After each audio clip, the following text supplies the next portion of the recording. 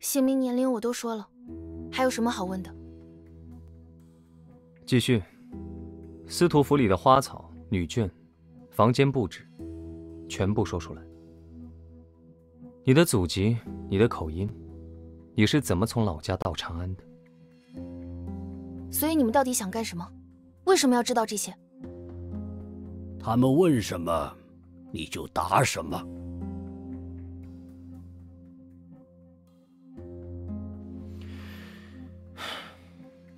差不多了，你觉得呢？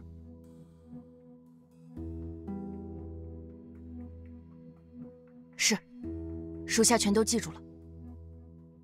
谁在密室外？是我，义父。